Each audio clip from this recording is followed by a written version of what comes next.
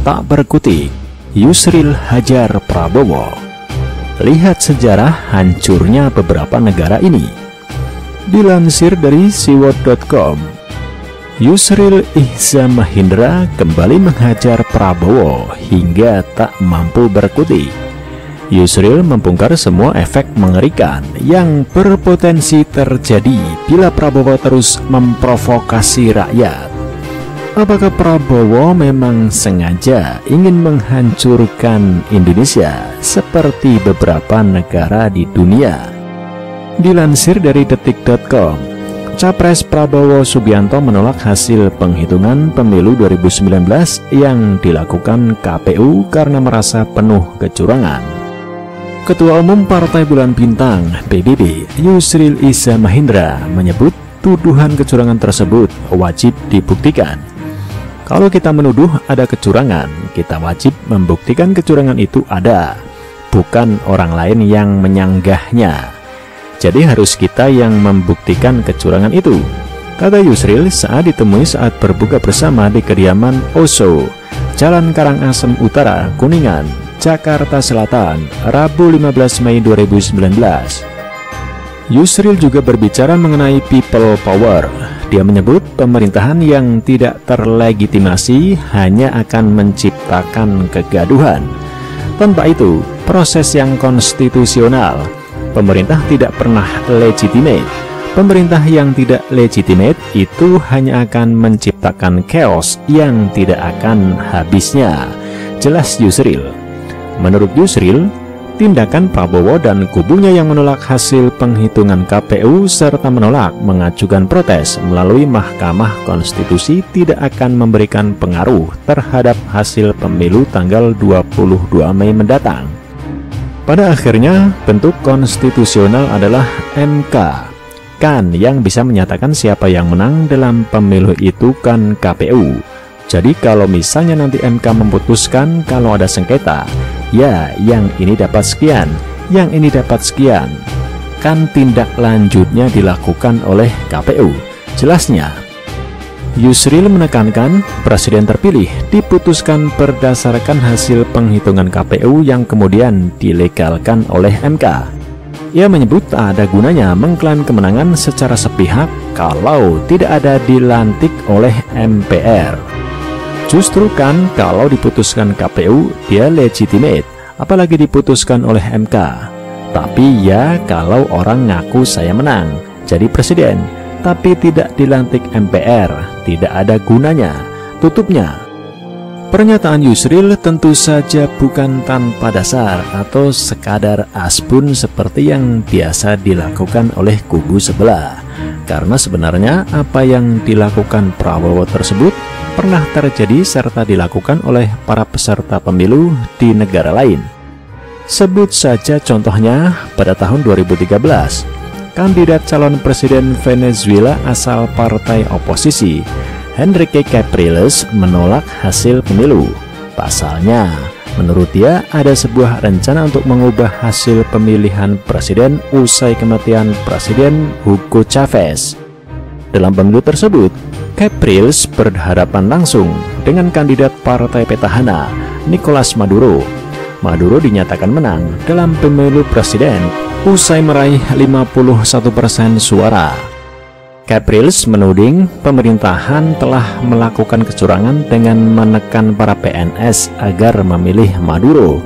Karena itu dia meminta Dewan Pemilu untuk mengaudit hasil pemilu.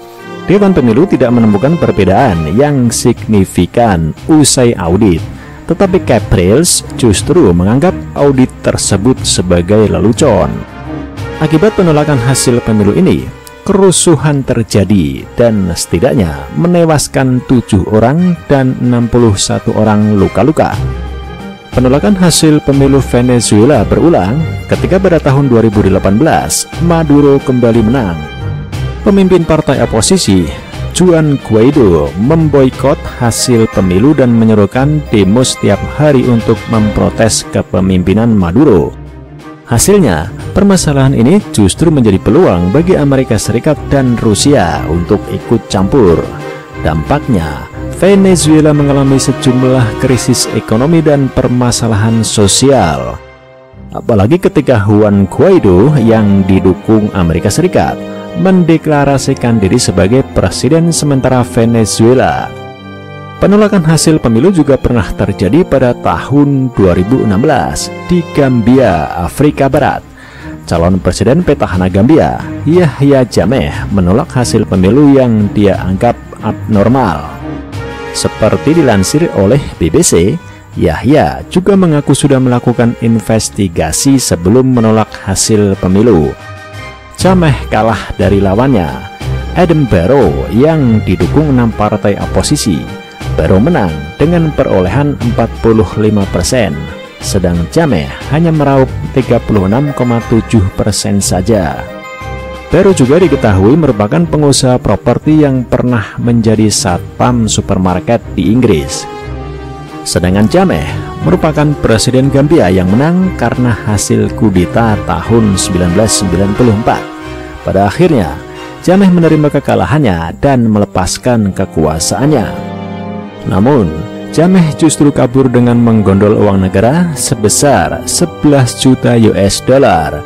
Dia dikabarkan kabur ke Guinea Katulistiwa. Namun, pejabat setempat belum bisa mengkonfirmasi keberadaan mantan presiden Gambia ini.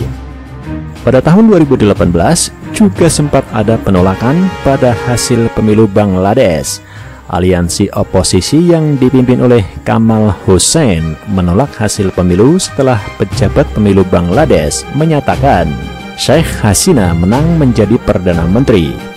Menurut Kamal, pemilu yang hanya memenangkan aliansinya sebanyak enam kursi ini dinilai tidak masuk akal. Hussein bahkan menyerukan pemilu ulang di bawah penyelenggara pemilu yang netral. Akibat penolakan pemilu ini, bentrokan pun terjadi. Bentrokan antar aktivis partai ini mengakibatkan setidaknya 17 orang meninggal dunia. Selain itu, karena pemilu ini, ada seorang di Neokhalai yang diperkosa ramai-ramai karena memilih oposisi pada tahun 2019. Akibat kasus ini, PBB pada Januari lalu menyerukan kepada otoritas Bangladesh untuk segera melakukan penyelidikan terhadap kasus tersebut.